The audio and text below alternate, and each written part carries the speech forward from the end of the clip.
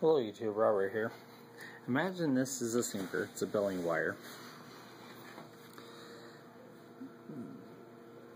I don't know if you can make out that knot.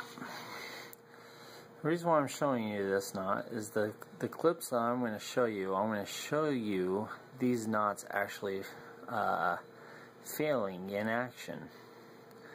My buddy Adrian, when me and him went fishing at the Jordan River, he lost two really nice cats and he, I asked him to show me how he tied the knots.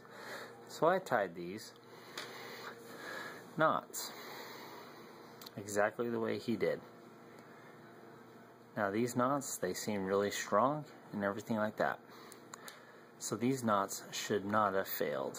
So I'm going to show you the, the clips right now of, of these knots actually failing in action and then uh, I will show you how how to tie them how these knots were tied. So thanks. One of my theories is is when I tied this see how the the lines all wrinkled? I'm wondering if that got if that weakened the line when you're pulling these tight. So that's another possibility what could have happened Adrian with a really good sized cat on. Good sized channel. Can you lift them up? Or do you have to go over there and drag them up? Oh! Took my hook. Took the hook. Okay, Adrian's got a really good one. Oh, fuck.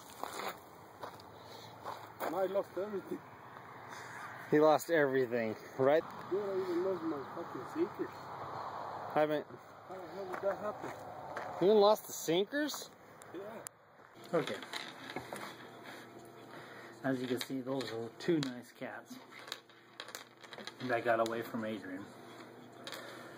And here's those knots that I showed you at the very beginning of the video. Well, he showed me the correct way to tie these and the incorrect way to tie in the this knot. And he believes that he must have tied it the incorrect way. I don't know if you can see that the knot, the knot that I showed you. See, I'm pulling on it really hard.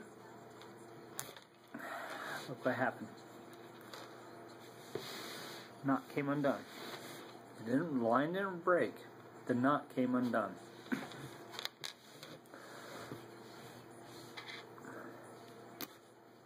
Knot came undone. So, I had another talk with Adrian, and he told me, yeah, he most likely tied those knots incorrectly. Now I'll show you how he told me the correct way of doing it. So this is how he ties knots, folks.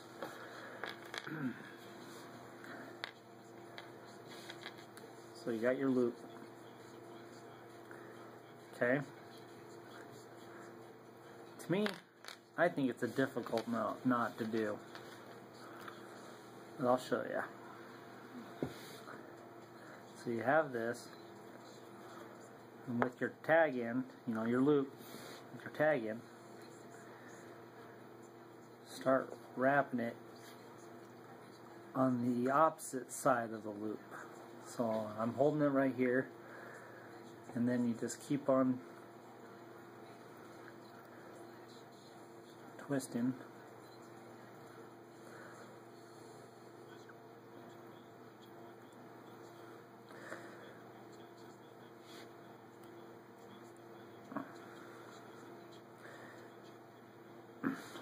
So I'm pulling with the main line, pulling with the tag end. And then when you get to this point, grab a hold of your hook, your sinker, or whatever, swivel, and then hold the tag with that, and then pull. There it is, folks. Now the hook is nice and tight. Yeah. So, Now let me show you the incorrect way. Same thing. But instead of with the tag end wrapping around the right way on the, the this side of the loop, you're wrapping the tag this to this side of the loop. Instead of that, the first time you showed me, he was wrapping it on the right side of the loop. It looks like it tightens up really nice and neat.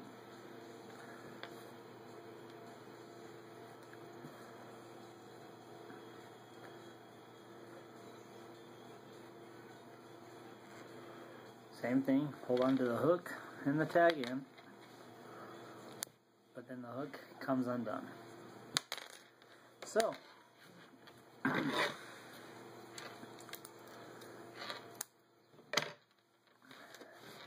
that's how it happened, folks.